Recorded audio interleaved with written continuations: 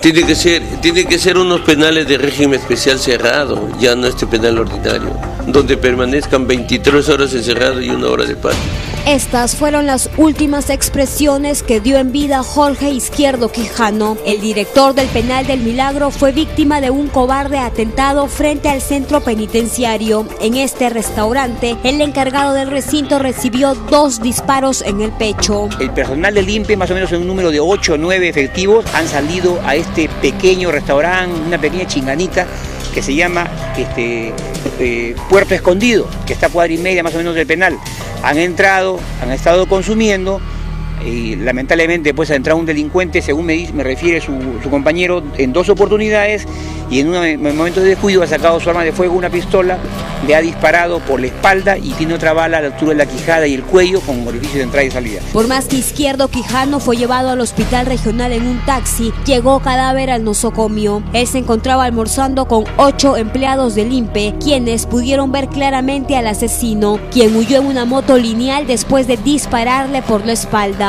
Se ha desplazado, no, el, según indican había una moto y un vehículo en la, parte externa del local. Eh, los señores del INPE se han desplazado a pie al lugar.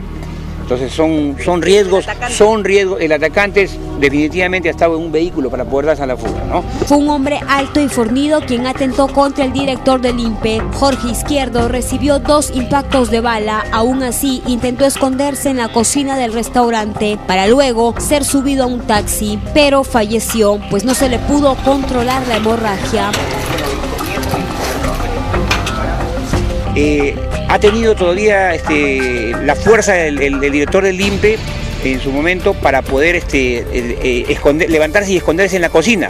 Luego han salido, lo han sentado y parece que poco a poco ha ido mermando el derrame interno que ha tenido y ya en el trayecto acá al hospital ha fallecido. Entonces estamos...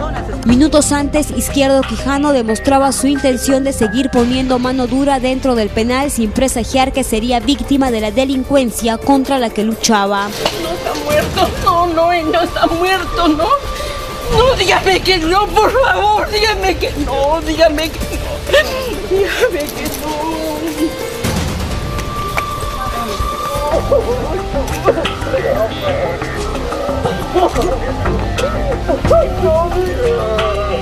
Tiene las características de 20 a 25 años, este, es un tipo fornido, aguerrido, moreno, moreno, de cabello un poco ensortijado, eh, los tienen prácticamente el personal limpio, lo han visto a, ese, delincuente.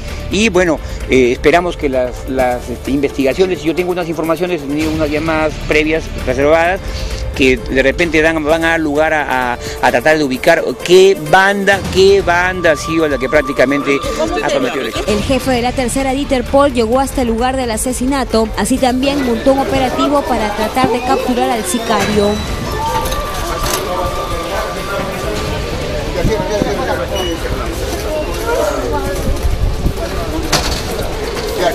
Si hablamos de corrupción, bueno, no es por acá, no somos ajenos a esta institución y yo que estoy al frente, no, la corrupción existe en todos los estamentos públicos del Estado.